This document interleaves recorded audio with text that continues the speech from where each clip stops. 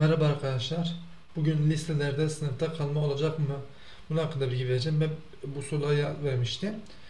Buna geçmeden önce kanalımıza abone olmayı ve bize destek ve- vermeyi unutmayın arkadaşlar. Yani 5 saniyenizi ayırıp abone olursanız sevinirim. Çünkü kanalımız bu aralar hiç abone gelmemeye başladı arkadaşlar. Çok yavaş büyüyen bir kanal olduk. O yüzden sizden ricam kanalımıza abone olup ve bildirimleri açarsanız sevinirim. Hani bu tarz açıklama oldukça paylaşmaya devam edeceğiz. Özellikle MEP ile ilgili ve üniversitelerle ilgili açıklama oldukça paylaşmaya devam edeceğiz.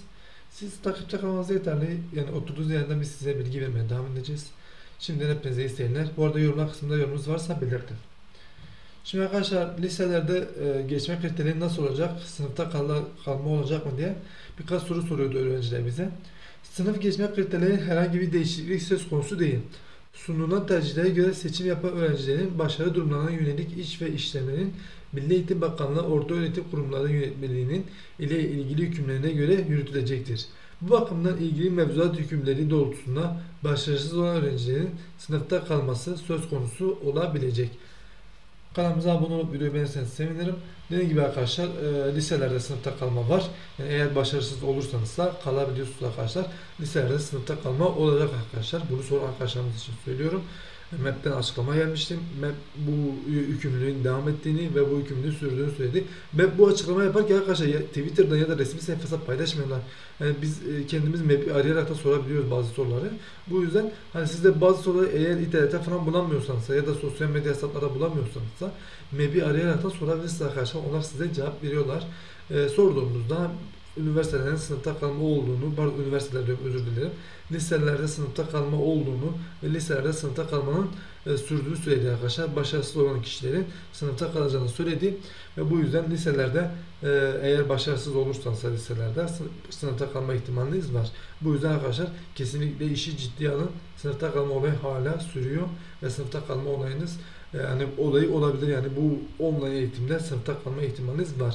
Bu yüzden aman online'dır ben geçerim falan kafasına bakmayın kalma ihtimali var dediğim gibi.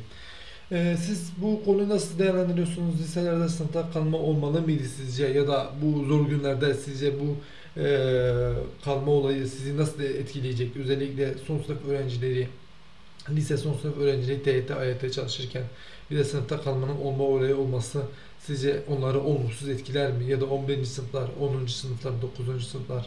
Yani siz bu konu hakkında ne düşünüyorsunuz? Yorumlar kısmında yorumlarınızı mutlaka bekliyorum. Hani siz sizce sınıfta kalma olmalı mıydı?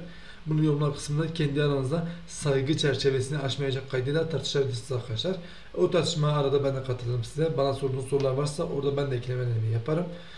Bana göre kendi şahsi fikrimi soruyorum. Liselerde sınıfta kalma olmamalıydı. Çünkü bu zor günlerde bir de sınıfta kalma olması öğrencilerin biraz daha tedirginleşmesi ve biraz daha strese girmesi anlamına geliyor. Özellikle 12. sınıf öğrencilerinin sınavlarına 1,5 ay kalmışken e, bu liselerde sınıfta kalmanın olması çok çok kötü olmuştur diye düşünüyorum arkadaşlar. Dediğim gibi siz de yorum kısmında yorumlarınızı belirtirsiniz. Liselerde sınıfta kalma olmalı mıydı e, başlığı altında yorumlarınızı bekliyorum. Kanalımıza abone değilseniz abone olmayı ve videoyu beğenmeyi unutmayın arkadaşlar. Takipte kalmanız dileğiyle. Hoşça kalın. Sağlıkla kalın.